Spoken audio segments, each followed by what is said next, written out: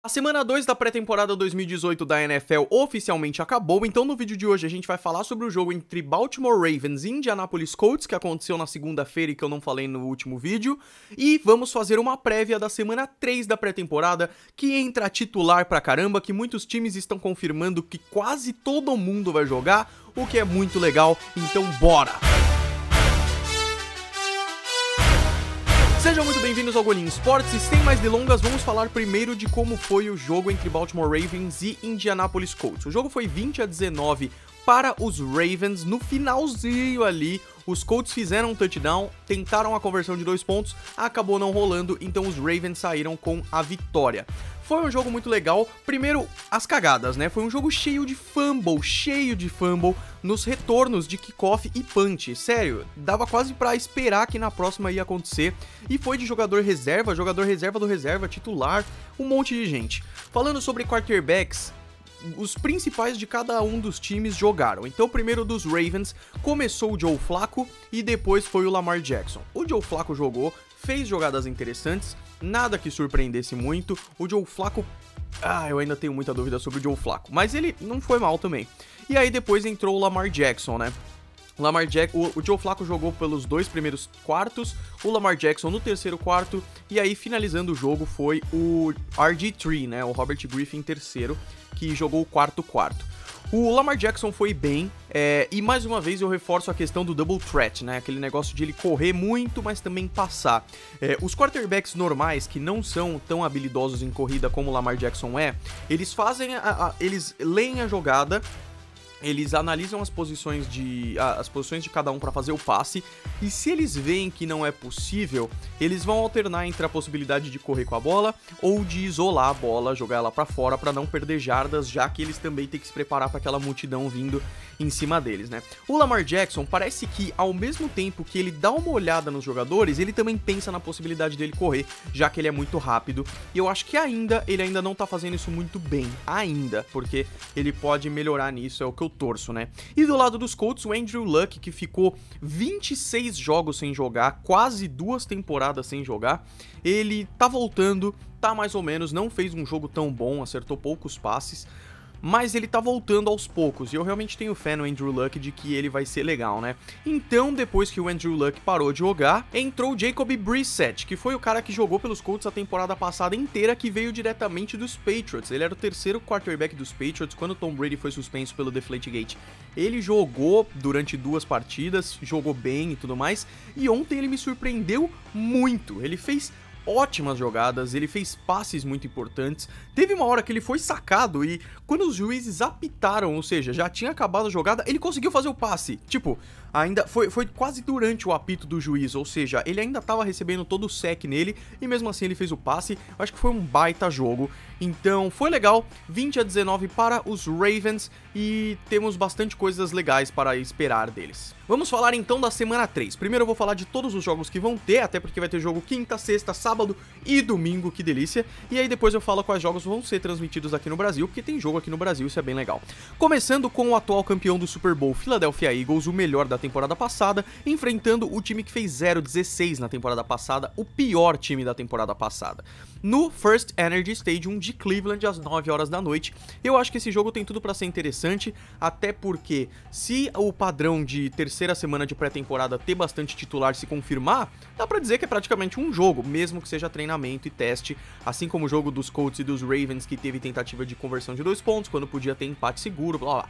Então, Philadelphia vai jogar contra Cleveland, mais uma vez, o Unique Foles, a lesão dele não é nada séria, mas ainda não tá confirmado para jogar. Qualquer coisa joga o Sr. Nate Sudfeld, que é o reserva dele, e o Carson Wentz, quem sabe, né? Porque o Carson Wentz ainda tá muito em dúvida para essa questão. Um clássico nova-iorquino aqui no MetLife Stadium, New York Jets contra New York Giants, às 8h30 da noite, abrindo a sexta-feira, 24 de agosto. Denver Broncos joga contra Washington Redskins também às 8h30 no FedEx Field em Landover. New England Patriots contra Carolina Panthers, um jogo bem legal também, Cam Newton e Tom Brady de quarterbacks, e dá para testar bastante gente legal aqui. 8h30 da noite no Bank of America Stadium, um estádio lindo do Carolina Panthers. Falando em estádios lindos, Seattle Seahawks vai até o US Bank Stadium do Minnesota Vikings, um jogo bem legal aqui também para testar a offensive line do Seattle Seahawks, que tá bem difícil, e a questão dos quarterbacks de Minnesota, que o Kirk Cousins fez um primeiro jogo bem legal, um segundo jogo não tanto, e agora vamos ver como é que ele se sai. Detroit Lions vai até o Raymond James Stadium, um estádio lindo do Tampa Bay Buccaneers, que tem um navio, e vai ser bem legal também, às 21 horas esses dois jogos, e fechando a sexta-feira 24 de agosto, Green Bay Packers enfrenta Oakland Raiders, um jogo legal também, pra gente analisar nessa terceira semana, às 23 horas e 30 minutos no Oakland Coliseum. No sábado aqui, a gente tem jogos legais também. Abrindo o sábado, mais uma vez jogos o dia inteiro. Começando às 2 horas da tarde aqui, Kansas City Chiefs vai até o Soldier Field do Chicago Bears, enfrentar Chicago Bears às 2 horas da tarde, Houston, Texas e Los Angeles Rams às 17 horas, Tennessee Titans e Pittsburgh Steelers às 17 horas também, às 17h30, San Francisco 49ers enfrenta Indianapolis Colts, dois times que estão tentando aí voltar para a gama de times realmente bem fortes, então vai ser legal, lá no estádio de Indianapolis Colts, Baltimore Ravens enfrenta Miami Dolphins, esse jogo vai ser interessante porque Miami tá osso, Atlanta Falcons enfrenta Jacksonville Jaguars, jogão também, principalmente se os titulares jogarem.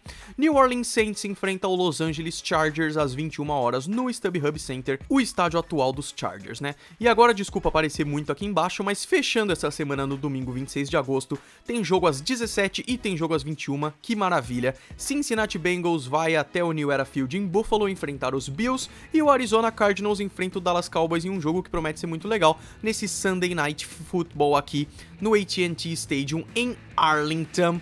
Que da hora. Então, só pra confirmar pra vocês uma coisa, é, como tem jogo no domingo, dois jogos no domingo, eu faço o vídeo dos resultados na segunda-feira, pode ser? E aí, talvez eu solte algum vídeo no fim de semana para entreter vocês. Pode ser? Vamos ver então, galera, como é que vão ser a transmissão aqui no Brasil. Nossa, tá muito errado isso, desculpem. A transmissão aqui no Brasil, postada por Everaldo Marques, o narrador mais da hora desse Brasil, sou muito fã dele. É, já foi então o jogo do, Cincinnati, do, do Chicago, Jets e Redskins e Ravens e Colts, que foi dessa última semana. E agora todos os outros jogos são dessa semana 3, o que é bem legal. Eagles e Browns, o primeiro e único jogo da quinta-feira, vai ser exibido e é um jogo muito legal de assistir. Na sexta-feira, infelizmente, um dos jogos mais chatos é o que vai passar aqui, que é Lions e Bucks, por questão de competitividade, eu gosto muito dos times, tá?